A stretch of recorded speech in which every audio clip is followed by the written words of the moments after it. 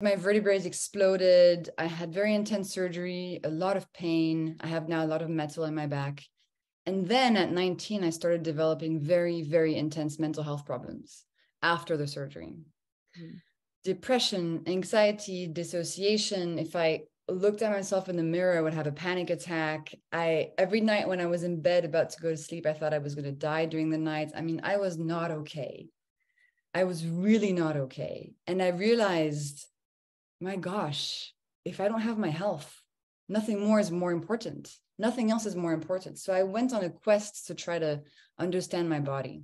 And at that time, no clue about glucose. I was just like, how does this work? Like, how how do I fix myself? I was just completely lost.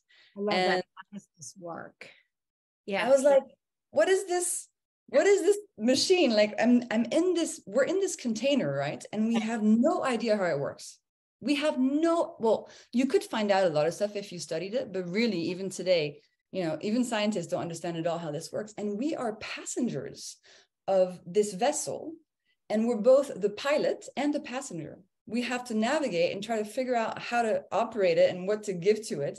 And we also are a victim of any consequences and symptoms. So that's how I felt, Maria. I felt just lost, completely, completely lost in the dark. So I thought, okay, let me try to understand my body. Uh, and that's when I went to Georgetown. So I was finishing a undergrad degree in mathematics in London.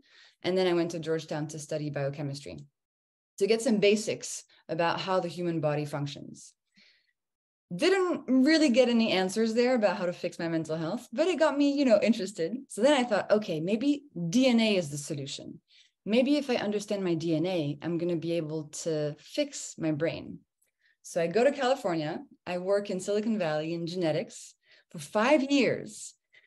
And I'm very disappointed because I find out that your DNA is not that helpful your DNA does not tell you what you need to do to feel good when you wake up in the morning. Mm. It can give you a little bit of an idea of what disease you may or may not develop in the future, but it stops there. It's not that helpful. So I was quite disheartened. This was 10 years after my accident. I was just like, okay, I, I have nowhere to go. I don't know what to do. I don't even have a single clue. And I still had these episodes. And then I really believe in the universe helping us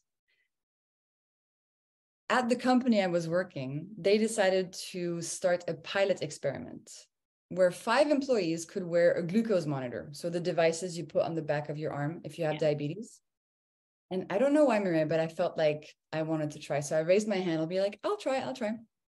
And it completely changed my life because what I saw with this device that measures continuously your blood sugar levels, I started seeing that the days where my blood sugar or my glucose levels were the most irregular. So when they went up really high, down, and blah, blah, blah, like a roller coaster, my mental health was worse.